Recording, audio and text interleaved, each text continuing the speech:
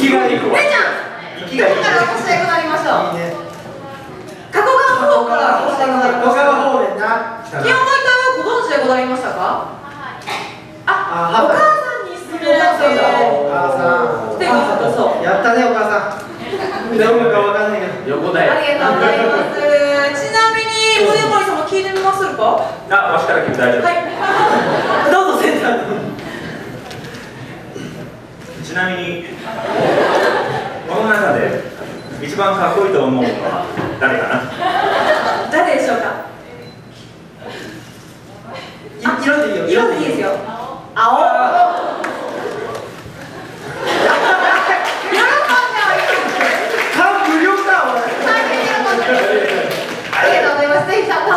りがとうございます。この質問なずっとやってるけど初めて来たなちゃんと来た。なかなかね振りだと分かっててもみんな違う人を選ぶっていうねいや加古川から他にも他にもおった？どちらですか？こちら。どこあえ初めての方でもどどこから来たこんにちは。どちらからお越しでしょう？ポットアイランドから。あそう近くだったポーランドかと思った今ポートアイランドじゃなかった軽く海越えてからねずっと神戸に住んでらっしゃる。あじゃあ日本語はもう。大丈夫あージャパニーズパーソンライ 大丈夫？大丈夫？キヨモリといってご存知でしたか？まあ歴史から。お歴史からご清存知盛が知ってるってことですから。あそう。ちなみにこの中で一番えっ、とナンバーワンあー日本語割り一番かっこいいと思うのは誰かな？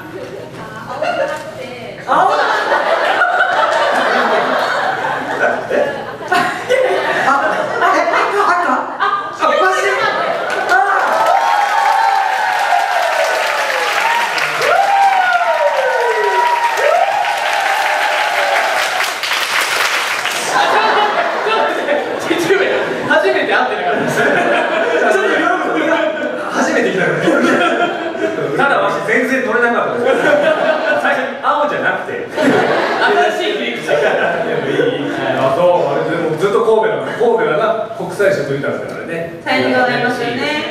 怖いから来たわけね怖いです怖いお一人でありがとうございますああ、お友達とご一緒にありがとうございますありがとうございますぜひあの楽しんでくださいますありがとうございますありがとう他に埋め地から来た人いますかポートアイとか探しておりますから埋め立て地は南港六甲あたり受付中ですけど大丈夫来ませんか違います埋め立てなです埋め立て埋め立てってバカすけどわしが初めて埋め立てたみたいなこともあるからねそうですねね人口規模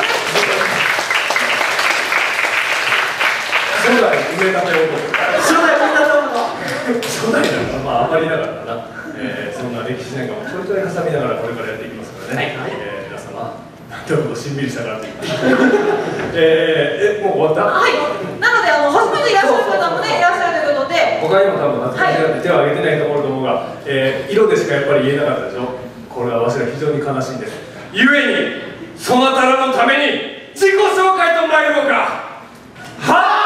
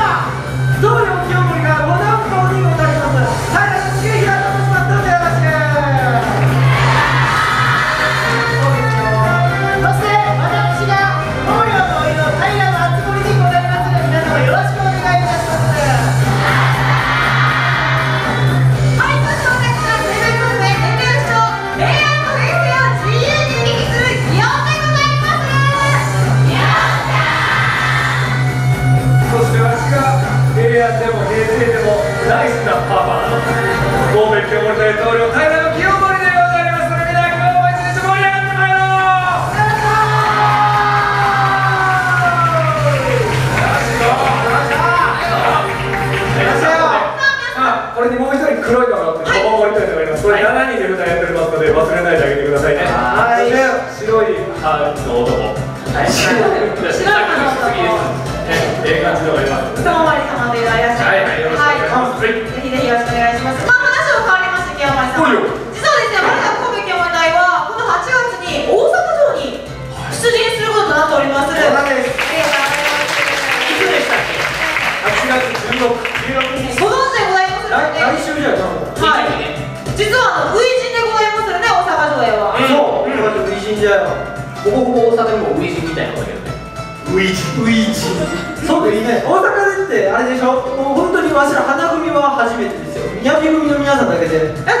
一度大阪行ってしましたみんなで。うん大阪にまあでもね、大阪城せっかく行くんだったら、あの大阪城をわしらの拠点にして頑張っていこうみたいな。ええおおめっちゃついてます。大阪清盛会議じゃない。ええややこしいー、神戸清盛だけ全然大阪でも清盛でもあれやろ天守閣前とかでステージさせてもらうみたいですそうそう見とる方は本当に絶景みたいな感じに見えるかもしれないそうですね。バックに大阪城がそびえ立ってるわけでございますわしらが白バックにして絵をするわけだろそうですよなかなかない白持ちじゃない楽しみ武将隊ですからねわしらはなかなかね、そのやっぱお城に行くとわしらも武士ですからテンション上がるわけですよね。わしらとして城っていうのはなかったんだけど、なんかいろいろ今まで名古屋行ったり、どこ行った？岡山行ったりとかねはいはい。いいの出ますから。いいの ぜひよ。テンション上がるテンションいいんですよ。ただまあやっぱり大阪あんまり行かないからね。そうですね。ちょっとどういうお客さんがおるのかわからなくてビビってますから。まあお盆で大変かと思いますけど、来れる方はぜひこちら応援しに来ていただければと思います。よろしくよろしくよろしくお願いします。よろしくお願いいいたします、はい。まああの大阪といっても我らの清盛様にもゆかりがございますよね。そうですね。まああのよく重森さんとかはい。あの辺に行きました。熊野モーデなんかに行って。はい。一回行った時にね、そうなんです。よその間に選べましたちょっと京都がえらいことになりました。はいおやべえぞ。おやべえぞ。やっべおやべえぞ。クオリティ高いですね後ろに帰っぞ。帰っぞそんな大阪です。はい えー、まあまあ堺のなんだ大鳥神社か、はいそのあたりでちょっと帰る途中に寄ったりして、えー歌なんかも寄ったりしたわけですけども、えー、歌ってそうですよ堺はねまだまだ京都に遠いよねだけど僕たち頑張るさっていう歌を歌人でそれは残らないでしょ。今も、まあ、あの大鳥神社のあたりでは語りてはい。まだなんですけど。いのが語り継れてる。んですいとそれは今のうち平家落とせずになります。よねまあまあまあ、まあ、すぐ隣だったからちょこちょこと大阪まで出まして久しぶり。に久しぶりというか、まあ、大阪一人緊張しておりますが頑張っていきますのでよかったら遊びに来てください。すいません。あの平家ゆかりの地というのは全国各地にたくさんあるわけでございますけどもでは皆様本日はその平家ゆかりの地に思いを馳せて少し平安時代に戻ってみましょう。いいですよ。ただではい何何て言ったんですかただちゃんと返してくださいねもう一回。あ任せてくださいませもう一度平成の皆様に敵に立ち向かう平家の強さとそして絆をご覧いただきましょう。よかろう。シウム。は宗盛。は重衡は敦盛。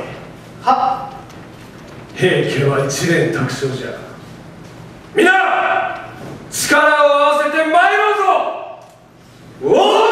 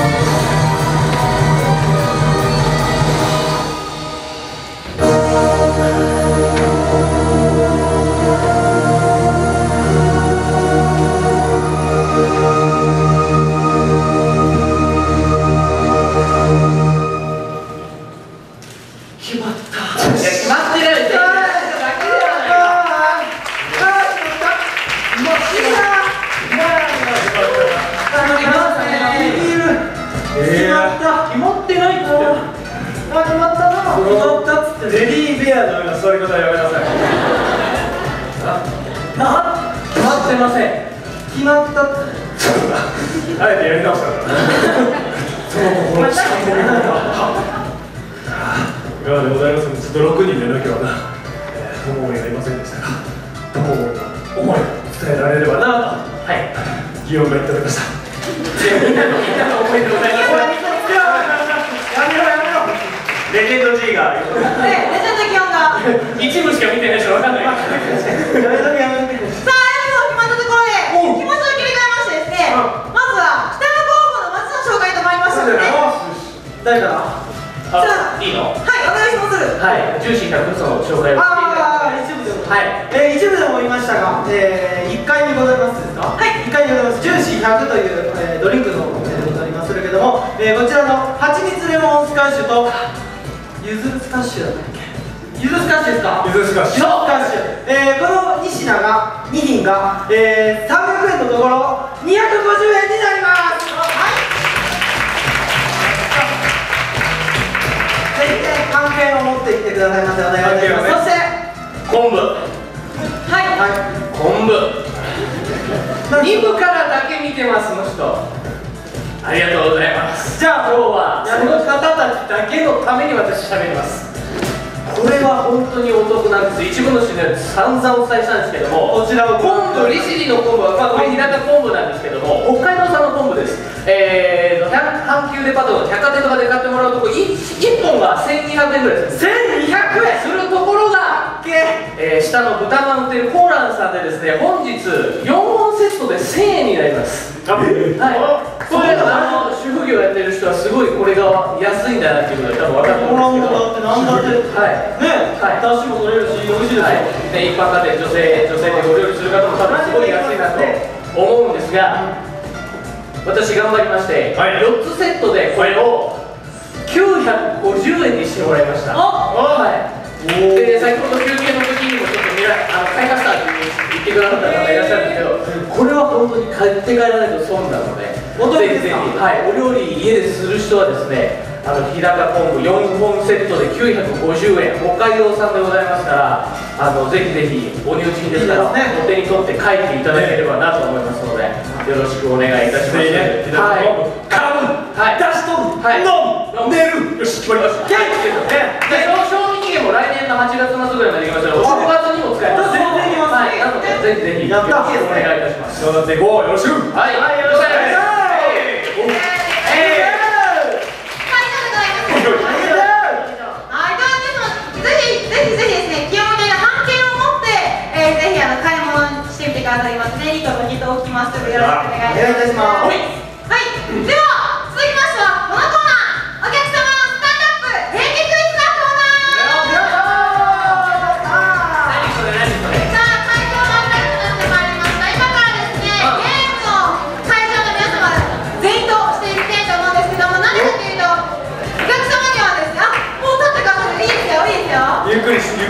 っ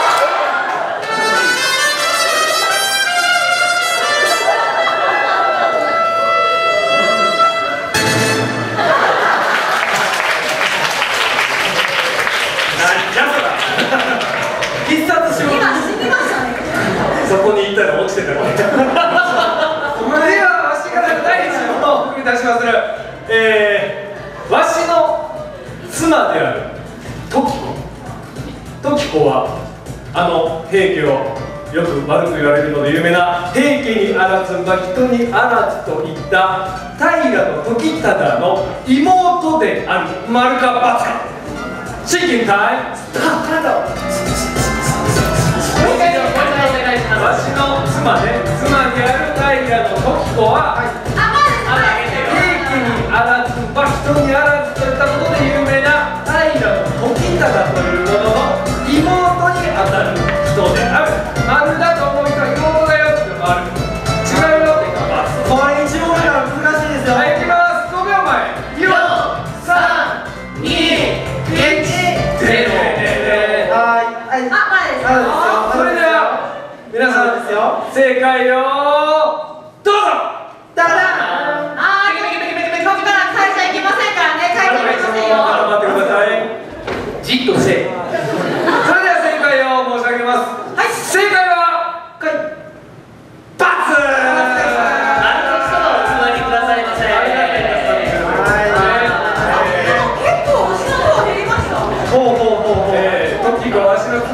妻の時子はその時忠の姉にあたりじっとせんちゅう。ことじゃないねでございます決戦にあったんですあ同じ平家でもちょっと流れが違う。平家でございますはいえー、そのお姉ちゃんでございますはいありがとう。ありがとう。2問目は二問目のはい間。私4からでございますさあ参りましょう。ギアカです第2問ここはプップーなんだ父だけさあ行きましょう。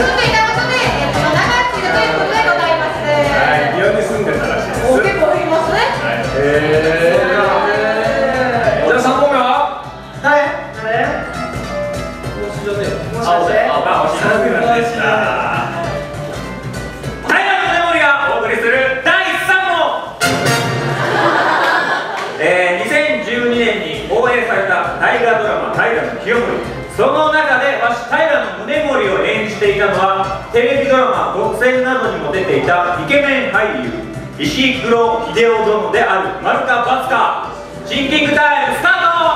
大河ドラマで恩師を雇った人が石黒何がしであるってことねそうです。秀夫さん石黒秀夫殿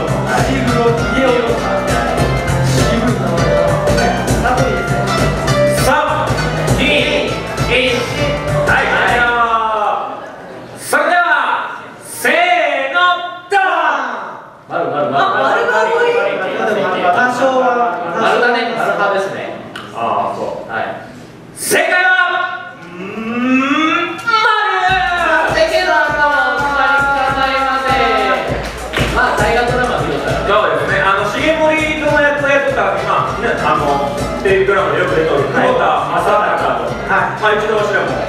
そう。ねはい。はい。で、あの、家盛役、あの、棟梁の弟の役。が大東俊介はい。そうでしたね。ああそうでした。この方も一度わしら東京の NHK に行った時にあそうですね。人はい。いね。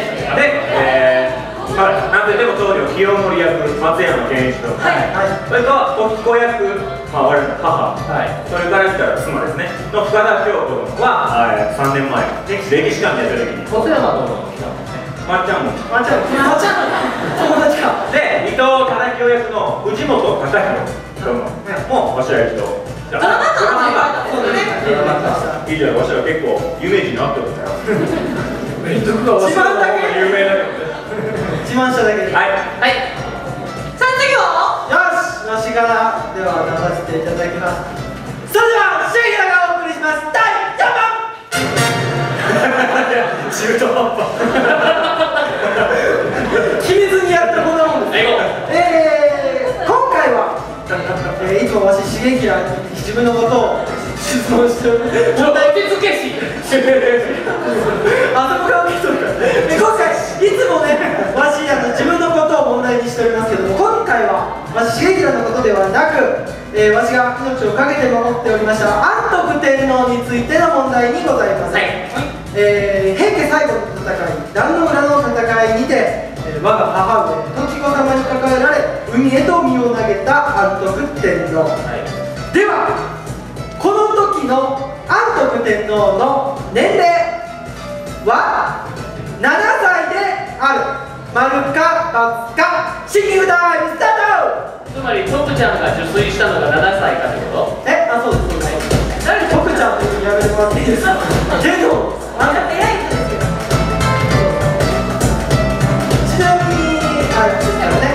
天いとなられたのが3歳の頃ですよね。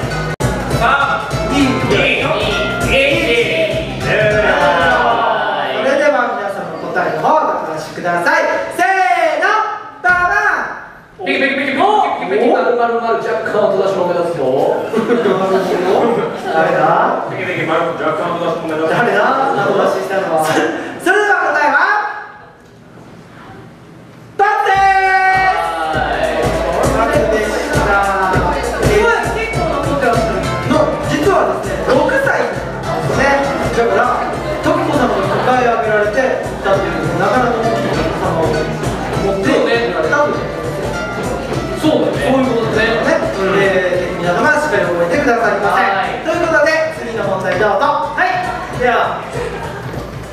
まだ結構残ってます。よい。けあつ森ではあつ森からの第5問用意しとけよ毎回だぜすごい。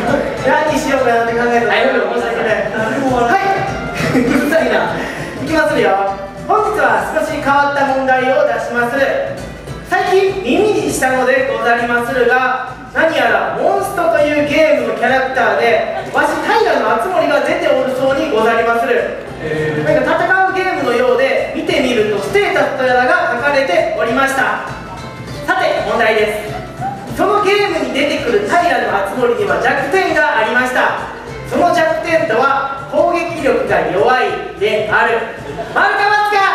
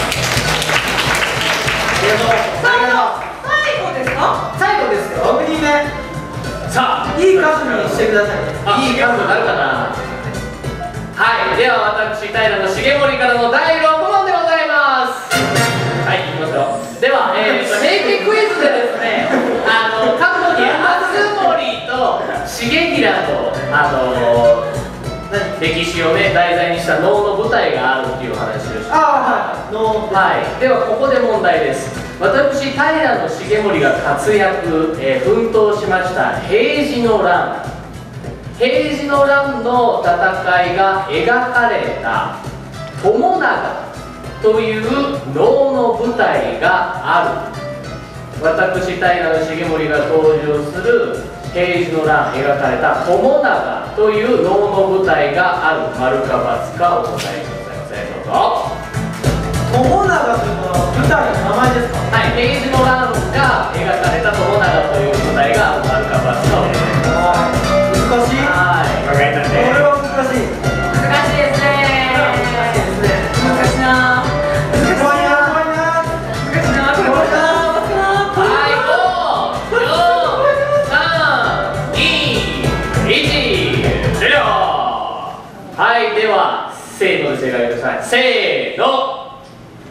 考えたねこれは丸々丸ちょうど半分ずついいい感覚い。い問題だねはい正解は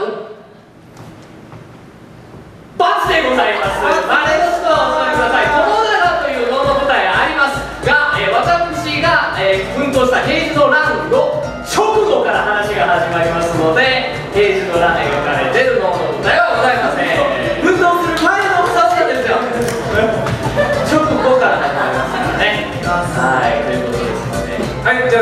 ゃあ今残っ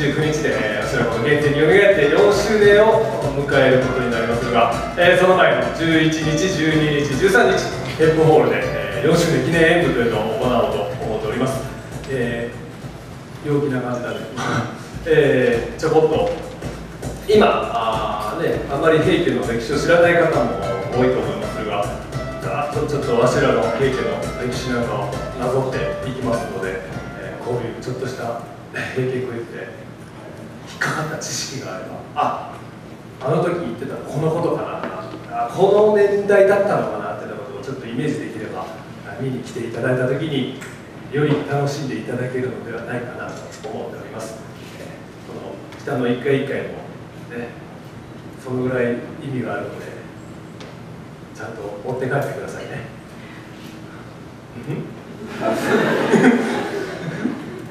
そんなことも考えながらクイズもちょこちょこ出しておりますので、えー勉強になったら嬉しいなと思っております。えー、なわしらの4周年記念部のタイトルそのままか。はい。ね、どこに平家物語すごい汗かいえータイトルも最後の時、えー6人の平家物語という今回はります。あの最後の時という歌を今から歌いますが本当に、えー、吉野平家、えいろんな戦であったりいろんなことがありながら平安の時代を生き抜いて武士の世民たちが住みやすい世を作ろうと一生懸命頑張ってきましたが、えー滅亡してしまった。そんなわしらがあどんな思いを持っていたのか最後に見た景色はどうだったのかその先に見ようとしていた景色はどんなものだったのかというようなことを伝えられるとても大切な歌だと思っておりますで今日はちょっと一人友思いがいませんので花本という現代風の楽器はありません。が6人でしっかりこの気持ちを伝えたいと思っております。聞いてくださいませ最後の時と参ろうか。はは「っ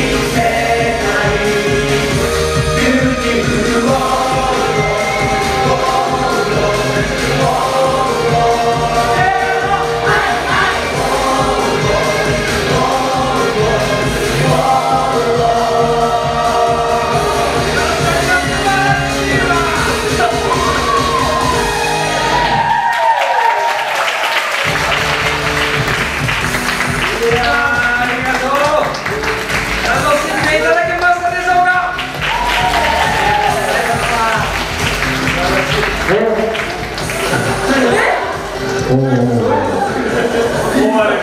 っくりした。本当に暑いの。盛り上がってくれてありがとう元気が出た。の元気出ました。ねありがとうこの後も暑いけども熱中症に気をつけながら存分に神戸をそして北の高校の街を楽しんでくださいませ